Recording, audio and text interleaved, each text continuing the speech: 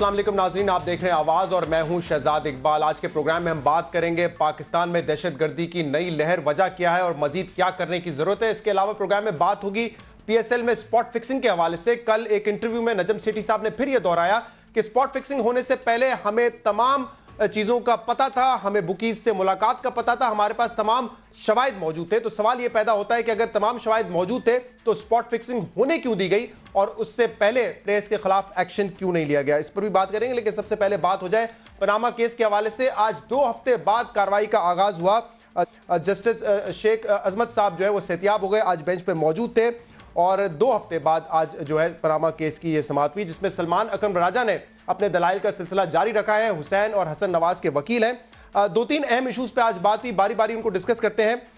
Beneficial ownership के हवाले से आज बात हुई है। जजेस ने यह सवाल किया है कि ऑफशोर कंपनीज़ के बेनिफिशियल ओनर अगर हुसैन नवाज़ हैं तो उसके सबूत कहाँ पर हैं? जस्टिस शेख अजमत साहब ने कहा कि हुसैन नवाज़ के बेनिफिशियल मालिक होने के दस्तावेजात दिखाएँ। पहले दिन से यह सवाल पूछ रहे हैं कि दस्तावेजात कहाँ हैं। जस्टिस आसिफ सईद खोसा साहब ने इस पर कहा कि ये जवाब केस के आ, आ, ये ये जवाब केस बताएगा कि केस कहाँ पे जा रहा है केस बना देगा या तो या केस को बिगाड़ देगा।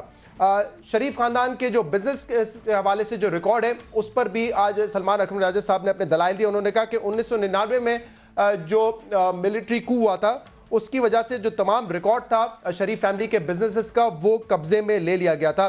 पिछले 45 साल का मुकम्मल रिकॉर्ड देना, ये नामुमकिन सी बात है। सलमान अकबर राजा साहब ने यह भी कहा कि ये ट्रायल हो रहा है ना ही कोई गवाही देने आया है। क्या इंक्वायरी के बगैर अदालत किसी नतीजे पर पहुँच सकती है?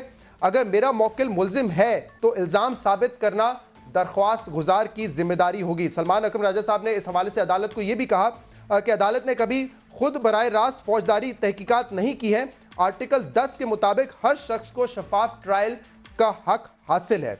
जो बेरे सर्टिफिकेट का मामला है, जिसपे हुसैन नवाज़ ने कहा है कि 2006 में बेरे सर्टिफिकेट मुझे मिले, उस पर भी आज अदालत में बहस हुई। एजाज अफजल साहब का कहना था कि हुसैन नवाज़ को बेरे सर्टिफिकेट सर्टिफिकेट्स मिले या उनको जायदाद मिली। सलमान अकरम राजा साहब ने जिसके जवाब में कहा कि हुसैन नवाज़ को सर्टिफिकेट मुंतकिल किए गए थे जिस पर जज ने सवाल किया कि क्या सर्टिफिकेट मुतल कवानीन के मुताबिक दिए गए थे क्या वो रजिस्टर थे? तो उन्होंने बताया, सलमान अकरम राजा साहब ने कि 2006 में रजिस्ट्रेशन से मुतालिक कोई कानून मौजूद ही नहीं था। हुसैन नवाज़ को मिलने वाले सर्टिफिकेट जुलाई 2006 में मिले थे और ऑफशोर कंपनीज़ के शेयर्स मिनरवा के नाम दोबारा जो है वो जारी किए गए 2006 के बाद। जिस पर शेख अजमत साहब ने यह कहा कि इधर उधर छलांगे ना लगाएँ। पहले दिन से इस पर बात हो रही है और अपने मोकिल से कहें कि मनरवा के डॉक्यूमेंट्स हमें दें, जिस पर उन्होंने कहा कि मैं अपने मोकिल से मनरवा के डॉक्यूमेंट्स मांगूँगा। ग्यारह एतराज़ात भी आज किए हैं, सलमान अकम, राजा साहब ने। और वो एतराज़ात वही हैं जो कि अक्सर हम हेयरिंग में सुन रहे हैं पी एम एल एन की शरीफ फैमिली के जो वकला हैं उनकी जानब से जिनमें उन्होंने फिर कहा फिर कहा कि ट्रायल कैसे हो सकता है इस अदालत ये अदालत ट्रायल कैसे कर सकती है आ, आ, क्या अदालत तहकीकत तल मामले की तफ्तीश करने का इख्तियार रखती है या नहीं इस तरह के ग्यारह एतराज़ा उन्होंने उठाए हैं। ये तो मामला था अदालत के अंदर। अदालत के बाहर इमरान खान साहब ने यह कहा है कि जो डॉक्यूमेंट्स पाक से मिलने होते हैं वो तो कहीं ना कहीं से आ जाते हैं लेकिन जो डॉक्यूमेंट्स बाहर से आने होते हैं वो दस्तियाब नहीं होते। जिधर जिधर पाकिस्तान के अंदर मैन्युफैक्चर हो सकती है, वो तो दस्तावेजात पहुँच जाते हैं। जिधर बाहर के कागज़ हैं, वो नहीं आ रहे। नवाज़ शरीफ के वकील ने सारा कुछ डाल दिया मरियम शरीफ के ऊपर। उनके वकील ने डाल दिया सारा हुसैन शरीफ के ऊपर। ये अब ये गोल, ये वो सलीमुल्ला कलीमुल्ला चल रहा है। कतरी ने हुसैन नवाज़ के लिए तीन फ्लैट लेके दिए। स्टूडेंट के लिए एक काफ़ी नहीं था। दो भाइयों के लिए स्टूडेंट्स के लिए चार फ्लैट लिए। इमरान खान साहब के बाद तलाल चौधरी साहब ने भी बात की पनामा केस के हवाले से। उन्होंने क्या कहा? सुनिए जरा। क्रिकेट में तो जो भी मैच कई दफ़ा आप बाल टेम्परिंग से जीत जाते थे अब आप पनामा का केस भी झूठ की टेम्परिंग करके जीतना चाहते हैं और खान साहब अहमकों की जन्नत में ना रहें। विशफुल डिसीज़न या पॉपुलर डिसीज़न यहाँ से नहीं आएगा। यहाँ से डिसीज़न आएगा कानून और आइन के मुताबिक। और खान साहब, आपके झूठ से लोग बेजार हैं और जज बीमार होते जा रहे हैं। पनामा केस पर मजीद बात करने के लिए हमारे साथ मौजूद है स्टूडियोज में फवाद चौधरी साहब। आप तर्जुमान है पाकिस्तान तरीके इंसाफ के। फवाद साहब बहुत बहुत शुक्रिया वक्त देने के लिए। और इसके अलावा हमें ज्वाइन करेंगे कराची से मिफ्ता इस्माइल साहब पीएमएलएन के रहनुमा और बोर्ड ऑफ़ इन्वेस्टमेंट के चेयरमैन। बहुत बहुत शुक्रिया मिफ्ता इस्माइल साहब आपने भी प्रोग्राम में हमें ज्वाइन किया। मिफ्ता इस्माइल साहब आज भी घूम फिर के सवाल एक ही होता है कि अगर बेनिफिशियल ओनर हुसैन नवाज़ साहब हैं तो उसके दस्तावेजात ला के दिखा दें बात खत्म हो जाएगी। तो, तो सारा मामला उन्हीं दस्तावेजात पे है। जो कि ओनरशिप के अंडर है हुसैन नवाज़ के तो वो क्यों नहीं लाके देते और मामला जो है यहीं पे खत्म हो जाएगा? शुक्रिया। देखिए मेन केस जो है वो तो हुसैन नवाज़ शरीफ के ऊपर नहीं है वो तो नॉन टैक्स रेजिडेंट पाकिस्तान का है पा, पाकिस्तान का रेजिडेंट नहीं है। तो अगर हुसैन नवाज़ शरीफ बेनिफिशियल ओनर हो या ना हो उससे फ़र्क नहीं पड़ता उसको कोई डिक्लेरेशन की ज़रूरत नहीं है उसका पाकिस्तान में कोई टैक्स नहीं लागू होता तो वो बेनिफिशियल हो तो हो या ना उससे फ़र्क नहीं पड़ता। तो मेन केस वो नहीं है। मेन केस जो है, वो मियाँ नवाज़ शरीफ के ऊपर था, जिसके ऊपर इन्होंने ये इल्ज़ाम लगाए थे खान साहब ने कि इन्होंने कोई रिश्वतें ली हैं, कोई किक बैक्स लिए हैं, फिर उसको मनी लॉन्ड्रिंग करी है टैक्स एविजन कराए और पैसे बाहर भेजें हम इतने दिनों से इस्तः कर रहे हैं और आज सलमान राजा साहब ने भी एक मरतबा फिर कहा है कि किधर सबूत है हमारे ख़िलाफ़, हमारे हमारे मौक़िल के ख़िलाफ़, हमारे नुमाइंदे के ख़िलाफ़ कि क्या सबूत हैं मियाँ नवाज़ शरीफ के ख़िलाफ़? वो पेश तो करें। ये कहना कि आप प्रूफ करें कि आप गिल्टी नहीं हैं ये तो इम्पॉसिबल है। अगर आप मैं आपसे ये कहूँ कि आप प्रूफ करें कि आपने परसों सिगरेट नहीं पी थी तो किस तरह आप प्रूफ कर सकते हैं? ये तो अजीब सी बात है। तो ये आर्गुमेंट है आपका पेश कर कि केस हुसैन नवाज़ के खिलाफ नहीं नवाज़ शरीफ साहब के खिलाफ था हुसैन नवाज़ तो नॉन रेजिडेंट पाकिस्तानी है। अगर यही आर्गुमेंट था तो फिर इतने सारे दस्तावेजात देने की ज़रूरत क्या थी? सलमान अकरम राजा पिछले पाँच हियरिंग से जो है आके दलाल दे रहे वो कहते हैं कि भाई ये नॉन रेजिडेंट पाकिस्तानी है हमारा इस केस से कोई लेना देना ही नहीं बात खत्म जी जी जी जी बिल्कुल आपकी बात दुरुस्त है देखें हम नहीं भाग रहे दूर मेंटेनेबिलिटी से हम मियाँ नवाज़ शरीफ ने कहा है कि मैं आपको जो है बता दूँगा और जैसे हम कह चुके हैं कि मेरी मेरी कि तीन पुश्तों का हम हिसाब दे रहे हैं और इन ताला कोर्ट को सेटिस्फाई कर देंगे और उसके बाद जो भी कोर्ट का फैसला आएगा, उसको मैं एंटिसिपेट नहीं कर रहा हूँ जो कोर्ट का फैसला आएगा। मेरी गुजारिश ये है आपसे कि हम तीन पुश्तों का हिसाब दे रहे हैं। हमने मेंटेनेबिलिटी चैलेंज नहीं करी है। हमने जाके ये नहीं बोला कि ईसीपी जो है वो हमारी पार्टी की फंडिंग के बारे में बात नहीं कर सकती। ये खान साहब कहते हैं इन्होंने जाके जो है वो स्टैंडिंग चैलेंज करना शुरू कर दी। इन्होंने अगर जाके मेंटेनेबिलिटी आना कर दी। इन्होंने जो अपनी बेगम साहबा के नाम पे घर लिया था बेनामी घर लिया था फिर उन्होंने कहा कि नहीं मैंने पैसे से पहले बोलते नहीं उनकी बेगम के पैसे जरा मुझे ये फवाद चौधरी साहब की तरफ़ आने दें।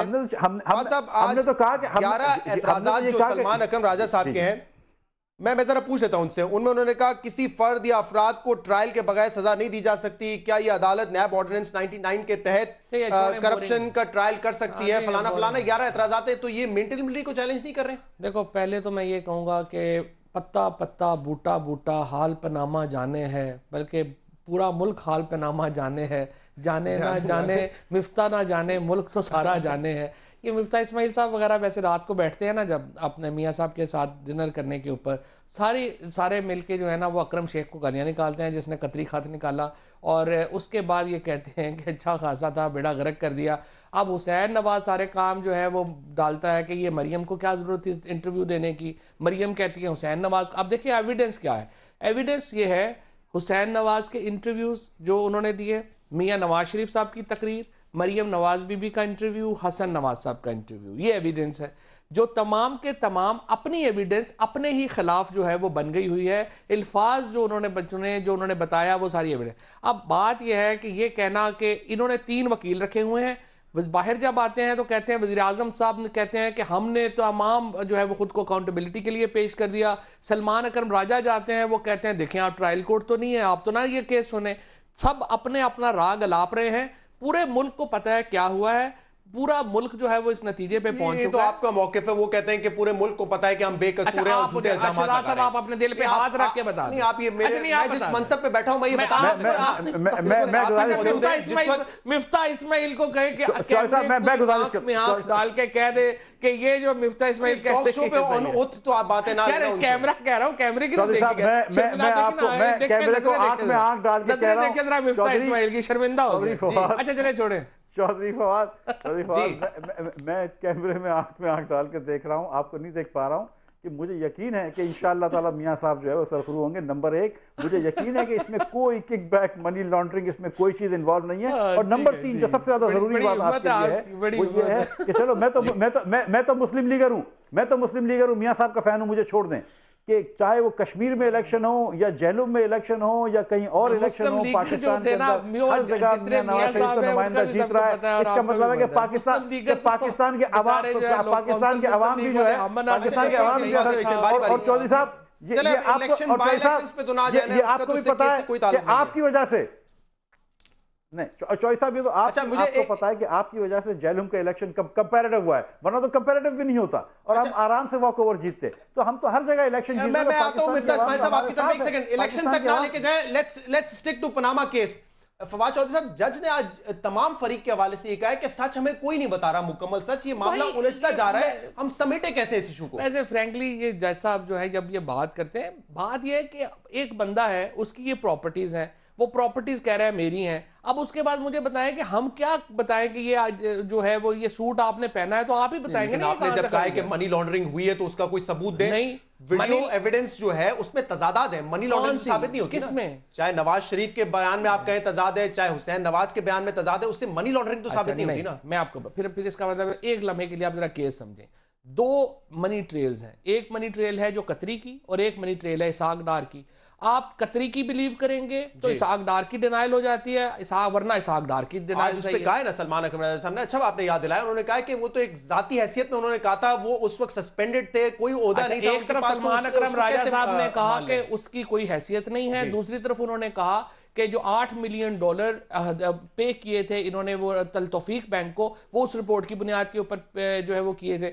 अब देखें, मुझे आप ये बताइए कि अगर प्रॉपर्टी से ताल्लुक नहीं था 99 में, आपकी प्रॉपर्टीज़ नहीं है, आप उनके लिए आठ मिलियन डॉलर क्यों दे रहे हैं?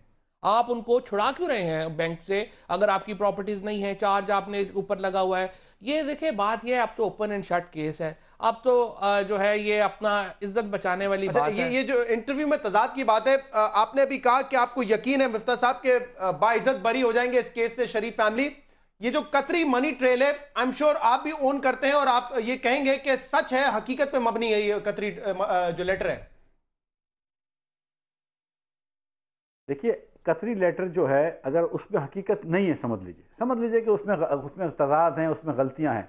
तो फिर क्या कबाज है कि जनाब नईम बुखारी साहब जो है, वो कोर्ट में जाके नहीं बता देते कि देखो ये जो कह रहे हैं कि 2006 में डॉक्यूमेंट दिए हैं हुसैन नवाज़ शरीफ को, ये बात गलत है। ये क्यों नहीं बता देते कि 2004 में या 2002 में या उन्नीस सौ निन्यानवे में हुसैन के अपार्टमेंट्स थे? ये तो बताना बड़ा आसान हो जाता। लंदन से जाके रिकॉर्ड ले आते। ये ये क्या ये हम इनको तो, नहीं रोक सकते। लंदन के रजिस्ट्रेशन से जाकर रिकॉर्ड लगाना ये क्यों तो, तो लाके तो फिर तो फिर लाके दे दीजिए। वो नहीं लाके दिए वो लाके नहीं दिए। हमने आपको दिया कि ट्रस्ट डीड है बिटवीन हुसैन एंड हुसैन नवाज़ शरीफ मेरी गुजारिश सुन लीजिए। मेरी गुजारिश सुन लीजिए। मेरी गुजारिश सुन लीजिए इतनी सी। मुझे कि हमने आपको एक ट्रस्ट डीड दे दी हुसैन नवाज़ शरीफ और मरियम नवाज़ शरीफ बीवी के दरमियान कि वो एक ट्रस्ट डीड है। वो भी एक नोटरी पब्लिक ने लंदन के अंदर वो 2004 2005 2006 कभी के अंदर उसने रजिस्टर्ड कर रखी है।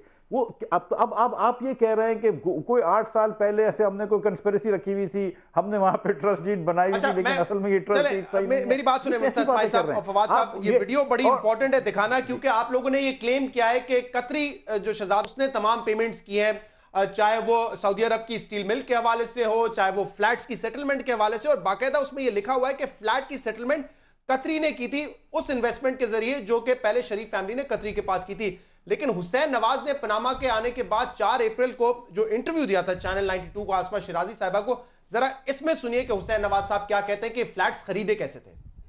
जी, ये बात जो है मैं बार बार बता चुका हूँ। आपको भी बताई देता हूँ कि 2006 में 2005 में बल्कि मैंने एक फैक्ट्री जो है, उसको बेचा था सऊदी अरेबिया में। और जो आमदनी हुई थी उससे ये प्रॉपर्टी जो है ये उससे खरीदी गई। और 2007 में जो है इन प्रॉपर्टीज़ के ऊपर कर्जा उठाया गया। और वो कर्जा जो है हमने वापस अपने बिज़नेस में आया। ये जो है अपना इसकी जो है सारी सोर्स है। इसकी अब बुनियादी तौर पे, पे जो है ना इसके अलावा तो और कुछ नहीं है। और अगर जो है बवेला जो है इस पे करना चाहे तो कर लें। मेरे पास और कहने को क्या है?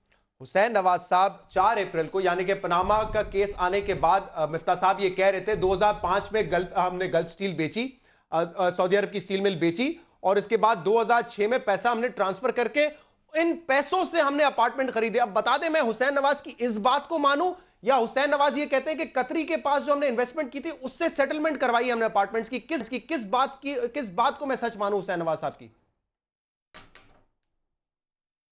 मिफ्ता को क्या हाँ, बड़ा आसा, आसान है अगर आप मानना चाहते देखिए मैंने एक घर खरीदा। उसके अंदर मैंने कुछ पैसे अपनी कंपनी के डाले कुछ पैसे मैंने अपने पुराने घर बेच के उसके डाले कुछ पैसे मेरे पास पड़े हुए थे वो डाले। अब मतलब ये कोई कोई कोई तरीका तो नहीं है ना कि अगर मैंने एक चीज़ ली है तो मैं एक ही सोर्स से ले सकता हूँ। अगर हुसैन ने अपनी फैक्ट्री बेची है 2005 में और वो भी कतरी के पास रखवा दी है और 2006 के अंदर कतरी से सेटलमेंट के अंदर ले लिया अपार्टमेंट तो क्या बड़ी बात है क्या फजूल लॉजिक लेके आए लेकिन इसके अलावा क्या कहे ये ये ये ये आज इस क्लिप का ज़िक्र आज अदालत में भी हुआ है। जज साहब ने पॉइंट आउट किया था कि हुसैन नवाज़ साहब उस इंटरव्यू में कह रहे थे कि फैक्ट्री बेच के पैसा आया उससे लंदन अपार्टमेंट खरीदे। फवाद साहब ये ऐसा ही था आज क्या हुआ है कोर्ट में कोर्ट में तो खैर जो हुआ है वो तो सब सामने बेसिकली देखे जजेस को भी पता है। भाई ऑब्वियसली कॉमन सेंस है ना, पूरे पाकिस्तान को जो पता है, वही जजेस को भी पता है। आप ये जिस तरह से मिफ्ता को लॉजिक बनाने पड़ रहे हैं या जो कुछ वो जो आया है काम वो तो ज़ाहिर है कि हर एक को पता है क्या होगा। अब कॉन्क्लूड स्टेज है कल इंशाल्लाह सलमान अकरम राजा को अपने मुकम्मल हो जाएँगे इसके बाद नईम बुखारी साहब रिपटल भी देंगे। बहुत बहुत शुक्रिया मुफ्ता इसमाइल साहब आपका भी आपका भी और कल सलमान अकरम राजा मोस्ट लाइकली अपने दलाल खत्म कर लेंगे। हम प्रोग्राम में शामिल करेंगे एक ब्रेक ब्रेक के बाद पीएसएल स्पॉट फिक्सिंग के हवाले से बात करेंगे। बड़ी अहम ये वीडियो है जो कि कल नजम सिटी साहब ने इंटरव्यू दिया है जिसमें उन्होंने कहा है कि स्पॉट फिक्सिंग होने से पहले तमाम चीज़ों का हमें इल्म था लेकिन हमने बेनिफिट ऑफ़ डाउट दिया। क्या स्पॉट फिक्सिंग होने से रोका जा सकता था? अगर बर वक्त एक्शन लेके इन खिलाड़ियों को सजा दी जाती, इस पर बात होगी एक ब्रेक के बाद।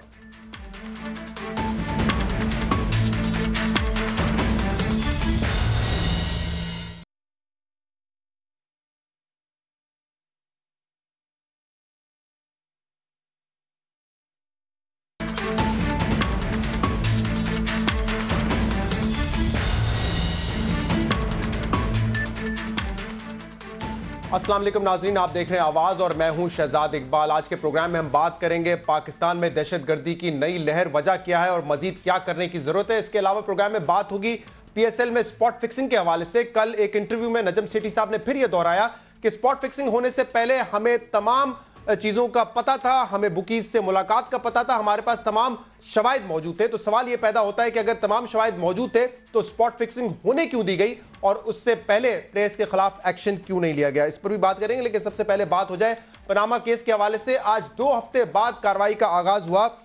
जस्टिस शेख अजमत साहब जो है, वो सेहतियाब हो गए, आज बेंच पर मौजूद थे। और दो हफ़्ते बाद आज जो है पनामा केस की यह समाप्त हुई, जिसमें सलमान अकरम राजा ने अपने दलाइल का सिलसिला जारी रखा है। हुसैन और हसन नवाज़ के वकील हैं। दो तीन अहम इशूज पे आज बात हुई बारी बारी उनको डिस्कस करते हैं। बेनिफिशियल ओनरशिप के हवाले से आज बात हुई है। जजेस ने यह सवाल किया है कि ऑफशोर कंपनीज़ के बेनिफिशियल ओनर अगर हुसैन नवाज़ हैं तो उसके सबूत कहाँ पर हैं? जस्टिस शेख अजमत साहब ने कहा कि हुसैन नवाज़ के बेनिफिशियल मालिक होने के दस्तावेजात दिखाएँ। पहले दिन से यह सवाल पूछ रहे हैं कि दस्तावेजात कहाँ हैं? जस्टिस आसिफ सईद खोसा साहब ने इस पर कहा कि ये जवाब केस के आ, आ, ये ये जवाब केस बताएगा कि केस कहाँ पे जा रहा है केस बना देगा या तो या केस को बिगाड़ देगा। शरीफ खानदान के जो बिज़नेस के हवाले से जो रिकॉर्ड है उस पर भी आज सलमान अकरम राजा साहब ने अपने दलाइल दिए। उन्होंने कहा कि उन्नीस सौ निन्यानवे में जो मिलिट्री कू हुआ था उसकी वजह से जो तमाम रिकॉर्ड था शरीफ फैमिली के बिजनेसेस का वो कब्जे में ले लिया गया था।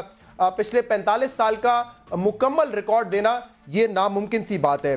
सलमान अकबर राजा साहब ने यह भी कहा कि ये ट्रायल हो रहा है, ना ही कोई गवाही देने आया है। क्या इंक्वायरी के बगैर अदालत किसी नतीजे पर पहुँच सकती है? अगर मेरा मौकिल मुलजिम है तो इल्ज़ाम साबित करना दरख्वास्त गुजार की ज़िम्मेदारी होगी। सलमान अकरम राजा साहब ने इस हवाले से अदालत को यह भी कहा कि अदालत ने कभी खुद बर रास्त फौजदारी तहकीकात नहीं की है। आर्टिकल 10 के मुताबिक हर शख्स को शफाफ ट्रायल का हक हासिल है। जो बेरे सर्टिफिकेट का मामला है, जिसपे हुसैन नवाज़ ने कहा है कि 2006 में बेरे सर्टिफिकेट मुझे मिले, उस पर भी आज अदालत में बहस हुई। एजाज अफजल साहब का कहना था कि हुसैन नवाज़ को बेरे सर्टिफिकेट मिले या उनको जायदाद मिली। सलमान अकरम राजा साहब ने जिसके जवाब में कहा कि हुसैन नवाज़ को सर्टिफिकेट मुंतकिल किए गए थे जिस पर जज ने सवाल किया कि क्या सर्टिफिकेट मुतल कवानीन के मुताबिक दिए गए थे क्या वो रजिस्टर थे? तो उन्होंने बताया, सलमान अकरम राजा साहब ने कि 2006 में रजिस्ट्रेशन से मुतालिक कोई कानून मौजूद ही नहीं था। हुसैन नवाज़ को मिलने वाले सर्टिफिकेट जुलाई 2006 में मिले थे और ऑफशोर कंपनीज़ के शेयर्स मिनरवा के नाम दोबारा जो है वो जारी किए गए 2006 के बाद। जिस पर शेख अजमत साहब ने यह कहा कि इधर उधर छलांगे ना लगाएँ। पहले दिन से इस पर बात हो रही है।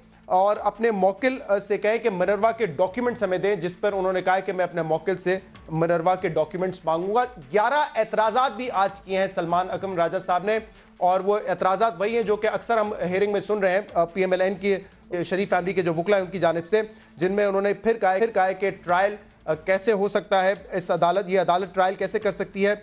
आ, आ, क्या अदालत तहकीकत तल मामले की तफ्तीश करने का इख्तियार रखती है या नहीं? इस तरह के ग्यारह एतराज़ा उन्होंने उठाए हैं। ये तो मामला था अदालत के अंदर। अदालत के बाहर इमरान खान साहब ने यह कहा है कि जो डॉक्यूमेंट्स पाक से मिलने होते हैं वो तो कहीं ना कहीं से आ जाते हैं लेकिन जो डॉक्यूमेंट्स बाहर से आने होते हैं वो दस्तियाब नहीं होते। जिधर जिधर पाकिस्तान के अंदर मैन्युफैक्चर हो सकती है वो तो दस्तावेजात पहुँच जाते हैं। जिधर बाहर के कागज़ हैं वो नहीं आ रहे नवाज़ शरीफ के वकील ने सारा कुछ डाल दिया मरियम शरीफ के ऊपर। उनके वकील ने डाल दिया सारा हुसैन शरीफ के ऊपर। ये अब ये गोल ये वो सलीमुल्ला कलीमुल्ला चल रहा है। कतरी ने हुसैन नवाज़ के लिए तीन फ्लैट लेके दिए। स्टूडेंट के लिए एक काफ़ी नहीं था। दो भाइयों के लिए स्टूडेंट्स के लिए चार फ्लैट लिए। इमरान खान साहब के बाद तलाल चौधरी साहब ने भी बात की पनामा केस के हवाले से। उन्होंने क्या कहा? सुनिए जरा। क्रिकेट में तो जो भी मैच कई दफ़ा आप बाल टेम्परिंग से जीत जाते थे, अब आप पनामा का केस भी झूठ की टेम्परिंग करके जीतना चाहते हैं और खान साहब अहमकों की जन्नत में ना रहें। विशफुल डिसीज़न या पॉपुलर डिसीज़न यहाँ से नहीं आएगा। यहाँ से डिसीज़न आएगा कानून और आइन के मुताबिक। और खान साहब, आपके झूठ से लोग बेजार हैं और जज बीमार होते जा रहे हैं। पनामा केस पर मजीद बात करने के लिए हमारे साथ मौजूद है स्टूडियोज में फवाद चौधरी साहब। आप तर्जुमान है पाकिस्तान तरीके इंसाफ के। फवाद साहब बहुत बहुत शुक्रिया वक्त देने के लिए। और इसके अलावा हमें ज्वाइन करेंगे कराची से मिफ्ता इस्माइल साहब पीएमएलएन के रहनुमा और बोर्ड ऑफ़ इन्वेस्टमेंट के चेयरमैन। बहुत बहुत शुक्रिया मिफ्ता इस्माइल साहब आपने भी प्रोग्राम में हमें ज्वाइन किया। मिफ्ता इस्माइल साहब आज भी घूम फिर के सवाल एक ही होता है कि अगर बेनिफिशियल ओनर हुसैन नवाज़ साहब हैं तो उसके दस्तावेजात ला के दिखा दें बात खत्म हो जाएगी। तो, तो सारा मामला उन्हीं दस्तावेजात पे है। जो कि ओनरशिप के अंडर है हुसैन नवाज़ के तो वो क्यों नहीं लाके देते और मामला जो है यहीं पे खत्म हो जाएगा? शुक्रिया। देखिए मेन केस जो है वो तो हुसैन नवाज़ शरीफ के ऊपर नहीं है वो तो नॉन टैक्स रेजिडेंट पाकिस्तान का है पा, पाकिस्तान का रेजिडेंट नहीं है। तो अगर हुसैन नवाज़ शरीफ बेनिफिशियल ओनर हो या ना हो उससे फ़र्क नहीं पड़ता उसको कोई डिक्लेरेशन की ज़रूरत नहीं है उसका पाकिस्तान में कोई टैक्स नहीं लागू होता तो वो बेनिफिशियल हो तो हो या ना उससे फ़र्क नहीं पड़ता। तो मेन केस वो नहीं है। मेन केस जो है, वो मियाँ नवाज़ शरीफ के ऊपर था, जिसके ऊपर इन्होंने ये इल्ज़ाम लगाए थे खान साहब ने कि इन्होंने कोई रिश्वतें ली हैं, कोई किक बैक्स लिए हैं, फिर उसको मनी लॉन्ड्रिंग करी है टैक्स इविजन कराए और पैसे बाहर भेजें हम इतने दिनों से इस्तः कर रहे हैं और आज सलमान राजा साहब ने भी एक मरतबा फिर कहा है कि किधर सबूत है हमारे ख़िलाफ़, हमारे हमारे मौक़िल के ख़िलाफ़, हमारे नुमाइंदे के ख़िलाफ़ कि क्या सबूत हैं मियाँ नवाज़ शरीफ के ख़िलाफ़? वो पेश तो करें। ये कहना कि आप प्रूफ करें कि आप गिल्टी नहीं हैं ये तो इम्पॉसिबल है। अगर आप मैं आपसे ये कहूँ कि आप प्रूफ करें कि आपने परसों सिगरेट नहीं पी थी तो किस तरह आप प्रूफ कर सकते हैं? ये तो अजीब सी बात है। तो ये आर्ग्यूमेंट है आपका पेश कर कि केस हुसैन नवाज़ के खिलाफ नहीं नवाज़ शरीफ साहब के खिलाफ था हुसैन नवाज़ तो नॉन रेजिडेंट पाकिस्तानी है। अगर यही आर्ग्यूमेंट था तो फिर इतने सारे दस्तावेजात देने की ज़रूरत क्या थी? सलमान अकरम राजा पिछले पाँच हियरिंग से जो है आके दलाल दे रहे वो कहते हैं कि भाई ये नॉन रेजिडेंट पाकिस्तानी है हमारा इस केस से कोई लेना देना ही नहीं बात खत्म जी जी जी जी बिल्कुल आपकी बात दुरुस्त है देखें हम नहीं भाग रहे दूर मेंटेनेबिलिटी से हम मियाँ नवाज़ शरीफ ने कहा है कि मैं आपको जो है बता जैसे हम कह चुके हैं कि मेरी मेरी कि तीन पुश्तों का हम हिसाब दे रहे हैं और इन ताला कोर्ट को सेटिस्फाई कर देंगे और उसके बाद जो भी कोर्ट का फैसला आएगा, उसको मैं एंटिसिपेट नहीं कर रहा हूँ जो कोर्ट का फैसला आएगा। मेरी गुजारिश ये है आपसे कि हम तीन पुश्तों का हिसाब दे रहे हैं। हमने मेंटेनेबिलिटी चैलेंज नहीं करी है। हमने जाके ये नहीं बोला कि ईसीपी जो है वो हमारी पार्टी की फंडिंग के बारे में बात नहीं कर सकती। ये खान साहब कहते हैं इन्होंने जाके जो है वो स्टैंडिंग चैलेंज करना शुरू कर दी। इन्होंने अगर जाके मेंटेनेबिलिटी आना कर दी। इन्होंने जो अपनी बेगम साहबा के नाम पे घर लिया था बेनामी घर लिया था फिर उन्होंने कहा कि नहीं वो मैंने पैसे से पहले बोलते नहीं उनकी बेगम के पैसे थे जरा मुझे ये फवाद चौधरी साहब की तरफ़ आने दें। हमने हमने तो कहा कि 11 एतराजात जो सलमान अकरम राजा साहब के हैं मैं मैं जरा पूछ लेता हूँ उनसे। उनमें उन्होंने कहा किसी फर्द या अफराद को ट्रायल के बगैर सजा नहीं दी जा सकती। क्या ये अदालत नैब ऑर्डिनेंस 99 के तहत करप्शन का ट्रायल कर सकती है फलाना फलाना ग्यारह एतराजात है तो ये मेंटेनेबिलिटी को चैलेंज नहीं कर रहे? देखो पहले तो मैं ये कहूँगा कि पत्ता पत्ता बूटा बूटा हाल पनामा जाने हैं बल्कि पूरा मुल्क हाल पे नामा जाने है। जाने ना जाने। मिफ्ता ना जाने मुल्क तो सारा जाने है। ये मिफ्ता इसमाइल साहब वगैरह वैसे रात को बैठते हैं ना, जब अपने मियाँ साहब के साथ डिनर करने के ऊपर, सारी, सारे मिलके जो है ना, वो अक्रम शेख को गालियाँ निकालते हैं, जिसने कतरी खात निकाला। और उसके बाद ये कहते हैं कि अच्छा खासा था, बेड़ा गर्क कर दिया। अब हुसैन नवाज़ सारे काम जो है, वो डालता है कि ये मरीम को क्या ज़रूरत थी इंटरव्यू देने की? मरियम कहती है, हुसैन नवाज़ अब देखिए एविडेंस क्या है? एविडेंस ये है, हुसैन नवाज़ के इंटरव्यूज़ जो उन्होंने दिए, मियाँ नवाज़ शरीफ साहब की तकरीर मरियम नवाज़ बीबी का इंटरव्यू हसन नवाज़ साहब का इंटरव्यू ये एविडेंस है। जो तमाम के तमाम अपनी एविडेंस अपने ही खिलाफ जो है वो बन गई हुई है। अल्फाज जो उन्होंने चुने, जो उन्होंने बताया, वो सारी एविडेंस अब बात यह है कि ये कहना कि इन्होंने तीन वकील रखे हुए हैं। बाहर जब आते हैं तो कहते हैं वजी अजम साहब कहते हैं कि हमने तमाम जो है वो खुद को अकाउंटेबिलिटी के लिए पेश कर दिया। सलमान अकरम राजा जाते हैं, वो कहते हैं, देखें, आप ट्रायल कोर्ट तो नहीं है, आप तो ना ये केस सुने। सब अपने अपना राग अलाप रहे हैं। पूरे मुल्क को पता है क्या हुआ है? पूरा मुल्क जो है वो इस नतीजे पे पहुँच चुका तो आपका मौके है वो कहते हैं कि पूरे मुल्क को पता है कि हम बेकसूर अच्छा, हैं इल्ज़ाम लगा साहब आप अपने दिल पे हाथ रख के बता नहीं आप ये मेरे अच्छा, नहीं, जिस मनसब पे बैठा हूँ मैं ये बता मैं मैं मिफ्ता इस्माइल मिफ्ता इस्माइल को कहे कि मैं आँख डाल के कह दे कि ये जो मिफ्ता इस्माइल कहते हैं तो आप बातें ना कैमरा कह रहा हूँ कैमरे की तरफ़ देखिए मैं मैं आपको मैं कैमरे को आँख में आँख डाल के कह रहा हूँ। देखिए जरा मिफ्ता इस्माइल की शर्मिंदा हो अच्छा चले छोड़े। चौधरी फवाद चौधरी फवाद मैं, मैं, कैमरे में आँख में आँख डाल के देख रहा हूँ आपको नहीं देख पा रहा हूँ कि मुझे यकीन है कि इन ताला मियाँ साहब जो है वो सरखरू होंगे। नंबर एक मुझे यकीन है कि इसमें कोई किक बैक मनी लॉन्ड्रिंग इसमें कोई चीज़ इन्वॉल्व नहीं है। हाँ, और नंबर तीन जो। सबसे ज़्यादा ज़रूरी बात आपके लिए है वो ये है कि चलो मैं तो मैं तो मैं तो मुस्लिम लीगर हूँ मैं तो मुस्लिम लीगर हूँ मियाँ साहब का फ़ैन हूँ मुझे छोड़ दें। कि चाहे वो कश्मीर में इलेक्शन हो या जैलूम में इलेक्शन हो या कहीं और इलेक्शन हो पाकिस्तान के अंदर हर जगह नवाज़ शरीफ का नुमाइंदा जीत रहा है। इसका मतलब है कि पाकिस्तान पाकिस्तान के अवाम पाकिस्तान के अवाम भी जो है पाकिस्तान के अवाम भी और चौधरी साहब ये आपको और चौधरी साहब ये आपको भी पता है कि आपकी वजह से नहीं चौधरी साहब ये तो आप अच्छा, मुझे आपको पता है कि आपकी वजह से जैलूम का इलेक्शन कंपैरेटिव हुआ है वरना तो कंपैरेटिव भी नहीं होता। और अच्छा, हम आराम से वॉक ओवर जीतते। तो हम तो हर जगह इलेक्शन जीते मैं, मैं आता हूँ साहब आपकी तरफ़ एक सेकंड इलेक्शन तक ना लेके जाए let's let's stick to Panama case Fawad Chaudhry साहब जज ने आज तमाम फरीक के हवाले से ये कहा है कि सच हमें कोई नहीं बता रहा मुकम्मल सच ये मामला उलझता जा रहा है। हम समेटे कैसे इस इशू को? वैसे फ्रैंकली ये जज साहब जो है जब ये बात करते हैं बात ये है कि एक बंदा है उसकी ये प्रॉपर्टीज़ हैं। वो प्रॉपर्टीज़ कह रहा है मेरी हैं। अब उसके बाद मुझे बताएँ कि हम क्या बताएँ कि ये जो है वो ये सूट आपने पहना है तो आप ही बताएँगे ना आपने जब कहा कि मनी लॉन्ड्रिंग हुई है तो उसका कोई सबूत दे? नहीं वीडियो एविडेंस जो है उसमें तजादाद है। मनी लॉन्ड्रिंग साबित नहीं होती किसमें चाहे नवाज़ शरीफ के बयान में आप कहें तजाद है चाहे हुसैन नवाज़ के बयान में तजाद है उससे मनी लॉन्ड्रिंग तो अच्छा, साबित नहीं होती ना। मैं आपको फिर फिर इसका मतलब एक लम्हे के लिए आप जरा केस समझें। दो मनी ट्रेल्स हैं। एक मनी ट्रेल है जो कतरी की और एक मनी ट्रेल है इसाक डार की। आप कतरी की बिलीव करेंगे तो इसाक डार की डिनाइल हो जाती है इसाक वरना इसाक डार की डिनाइल उस पे कहा है ना सलमान अकबर साहब ने अच्छा आपने याद दिलाया उन्होंने कहा कि वो तो एक जाती हैसियत में उन्होंने कहा था वो उस वक्त सस्पेंडेड थे कोई ओहदा अच्छा, नहीं था एक तरफ़ तो सलमान अकरम राजा साहब ने कहा कि उसकी कोई हैसियत नहीं है दूसरी तरफ़ उन्होंने कहा कि जो आठ मिलियन डॉलर पे किए थे, इन्होंने वो तल तोफीक बैंक को, वो उस रिपोर्ट की बुनियाद के ऊपर जो है वो किए थे। अब देखें, मुझे आप ये बताइए कि अगर प्रॉपर्टी से ताल्लुक नहीं था 99 में, आपकी प्रॉपर्टीज़ नहीं है, आप उनके लिए आठ मिलियन डॉलर क्यों दे रहे हैं? आप उनको छुड़ा क्यों रहे हैं बैंक से, अगर आपकी प्रॉपर्टीज़ नहीं है, चार्ज आपने ऊपर लगा हुआ है? ये देखिए बात ये अब तो ओपन एंड शट केस है। अब तो जो है ये अपना इज़्ज़त बचाने वाली अच्छा, बात ये, है। ये जो इंटरव्यू में तजाद की बात है आपने अभी कहा कि आपको यकीन है मुफ्ता साहब के बाइज्जत बरी हो जाएँगे इस केस से शरीफ फैमिली। ये जो कतरी मनी ट्रेल है आई एम श्योर आप भी ओन करते हैं और आप ये कहेंगे कि सच है हकीकत पे मबनी है ये कतरी जो लेटर है।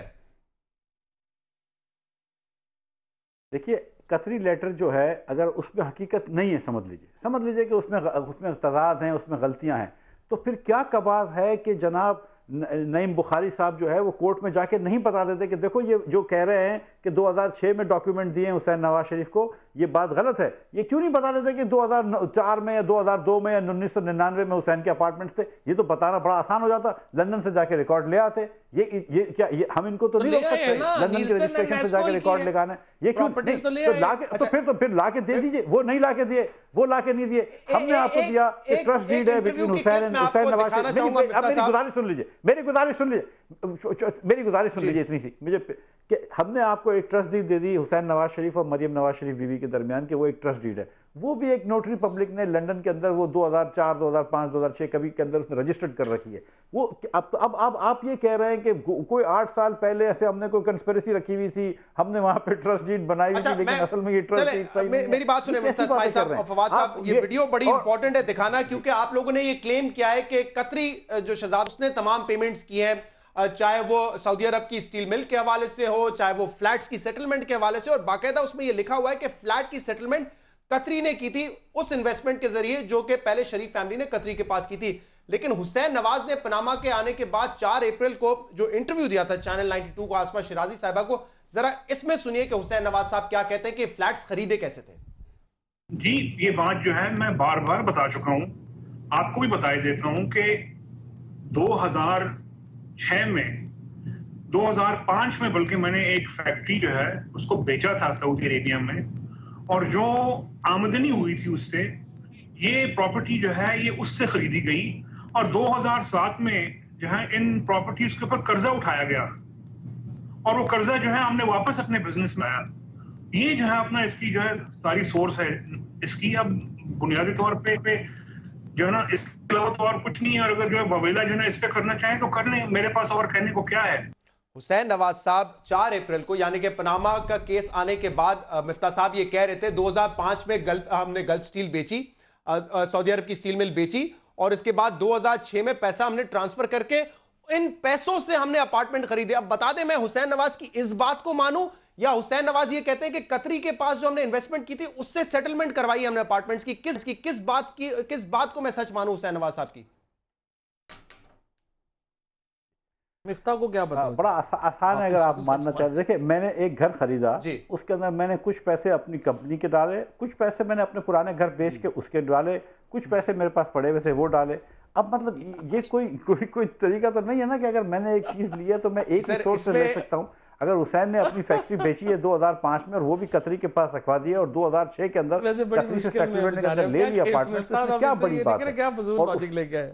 लेकिन इसके अलावा क्या कहे ये ये ये ये आज इस क्लिप का ज़िक्र आज अदालत में भी हुआ है। जज साहब ने पॉइंट आउट किया था कि हुसैन नवाज़ साहब उस इंटरव्यू में कह रहे थे कि फैक्ट्री बेच के पैसा आया उससे लंदन अपार्टमेंट खरीदे। फवाद साहब ये ऐसा ही था आज क्या हुआ है कोर्ट में कोर्ट में तो खैर जो हुआ है वो तो सब सामने बेसिकली देखे जजेस को भी पता है।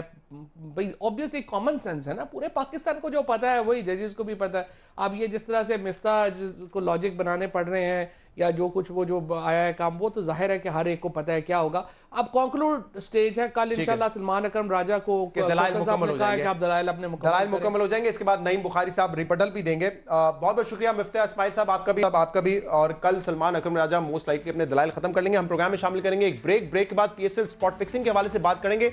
बड़ी अहम ये वीडियो है जो कि कल नजम सिटी साहब ने इंटरव्यू दिया है जिसमें उन्होंने कहा कि स्पॉट फिक्सिंग होने से पहले तमाम चीज़ों का हमें इल्म था लेकिन हमने बेनिफिट ऑफ़ डाउट दिया। क्या स्पॉट फिक्सिंग होने से रोका जा सकता था? अगर बर वक्त एक्शन लेके इन खिलाड़ियों को सजा दी जाती, इस पर बात होगी एक ब्रेक के बाद।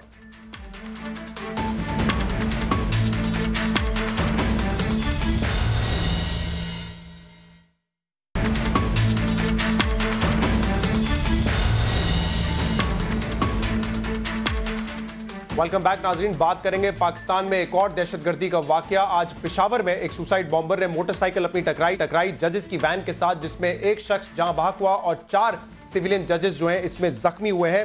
हयाताबाद की तरफ़ ये हुआ हादसा और इस हादसे की, इस दहशतगर्दी के वाक़े की ज़िम्मेदारी जो है वो कबूल की है टीटीपी ने। एक नई दहशतगर्दी की पाकिस्तान में और पिछले चार दिनों में हमने देखा है कि छह जो है दहशतगर्दी के वाकयात हो चुके हैं। उसकी तफसीत आपके सामने रखते हैं। बारह फरवरी को कराची में टारगेट किलिंग के ज़रिए समा के असिस्टेंट कैमरामैन को शहीद किया किया गया। बारह फरवरी को ही जनूबी वजीरिस्तान में आईडी ब्लास्ट हुआ, जिसमें तीन अहलकार जो है वो शहीद हुए। तेरह फरवरी को लाहौर के चेरिंग क्रॉस पर ब्लास्ट हुआ, जिसमें उस वक्त तेरह अफराद शहीद हुए थे और सौ से ज़्यादा जख्मी थे, लेकिन अब तक की इतलात के मुताबिक सोलह अफराद उस ब्लास्ट की वजह से शहीद हो चुके हैं और ये भी सुसाइड ब्लास्ट था। तेरह फरवरी को ही रात को कोयटा में भी ब्लास्ट हुआ और उसमें भी एक पुलिस एहलकार जो है वो शहीद हुआ और छः अफराद जख्मी हुए। आज पिशावर में अटैक हुआ है और इसके अलावा मोहम्मद एजेंसी में भी आज सुसाइड अटैक हुआ है, जिसमें पाँच अफराज शहीद हुए तो इसमें कोई शक नहीं है। ऐसा लगता है कि मुनजम तरीके से, एक ऑर्गेनाइज तरीके से लॉ इन्फोर्समेंट एजेंसीज को खासतौर पर निशाना बनाया जा रहा है। National action plan in place है। अल्लाह सतह की मीटिंग ऑलमोस्ट डेली बेसिस पर हो रही है। आज भी नवाज़ शरीफ साहब ने जो है मीटिंग कंडक्ट की मीटिंग चेयर की और उसमें इस अजम को दोहराया है। कि दहशतगर्दों को सर उठाने नहीं देंगे, जो हमारे इसमें गेंद हैं, इस दहशतगर्दी की जंग में उनको ज़ाया होने नहीं देंगे। एक इंपॉर्टेंट खबर यह भी है कि आज फॉरेन ऑफ़िस ने जो डेप्यूटी हेड ऑफ़ मिशन है अफ़गानिस्तान के, उनको कॉल किया था और उनसे ये कहा गया है कि अफ़गानिस्तान में सेंचुरीज हैं जमातुल एहरार की और वहाँ से हमले किए जा रहे हैं पाकिस्तान पर। तो ये एहतजाज भी रिकॉर्ड करवाया गया है और कहा गया है कि इस पर जो है कार्रवाई करने की ज़रूरत है। क्या वजह है और मजीद क्या करने की ज़रूरत है इस जंग में? इस पर हम बात करेंगे। साथ मौजूद है defence analyst, lieutenant general retired Shoaib Ahmed Shoaib साहब। बहुत बहुत शुक्रिया शोएब साहब वक्त देने के लिए। मजीद क्या करने की ज़रूरत है? क्योंकि हमने बार बार ये सुना है और ठीक सुना है कि दहशतगर्दों की कमर टूट चुकी है। हम आदाद शुमार देखें तो जो हमले हो रहे थे, उनमें कमी आई है। जो अमवात हो रही थी, उनमें कमी आई है। लेकिन अब आहिस्ता आहिस्ता हम देख रहे हैं कि इसका सिलसिला फिर शुरू हो गया क्या वजह क्या है इसकी? देखिए दो चीज़ें हैं को बैरूनी अवामिल और एक अंदरूनी। अंदरूनी तो ये है कि आप देखिए जैसे ये हालात थोड़े नॉर्मल होते नज़र आए तो हमारा फोकस हट गया। हुकूमत ने नेशनल एक्शन प्लान को तो बिल्कुल यूँ लगता है जैसे भुला दिया। क्योंकि उसकी कोई बातचीत नहीं। वरना तो ये होता है कि ये इतने इंपॉर्टेंट इशू के ऊपर प्राइम मिनिस्टर हर दो तीन महीने के बाद एक कॉन्फ्रेंस करके उसकी प्रोग्रेस लेते हैं। और फिर जो निशानदेही होती है उन अम, उन अमूर की जिनके ऊपर अमल नहीं हो सका या कोई कमज़ोरियाँ हैं आपकी इम्प्लीमेंटेशन में तो आप कहते हैं कि जी, इन इन चीज़ों पर ज़्यादा तवज्जो दी जाए। लेकिन वो कभी हुई नहीं, वो ख़त्म हो गया किस्सा। उसके साथ साथ आपने देखा कि इन इन चीज़ों की अहमियत भी नहीं रही, जैसे मिलिट्री कोर्ट्स का है, या हमारी अदालतों के अंदर जो हमने रिफॉर्म्स करनी थी, फाटा की रिफॉर्म्स हैं, वो यानी ये लिंक चीज़ें हैं। फिर जो जो क्रिमिनल एक्टिविटीज़ और टेररिज्म का लिंक और लिंक उसका फिर पैसे के साथ करप्शन के साथ उसका ज़िक्र जो है जो है।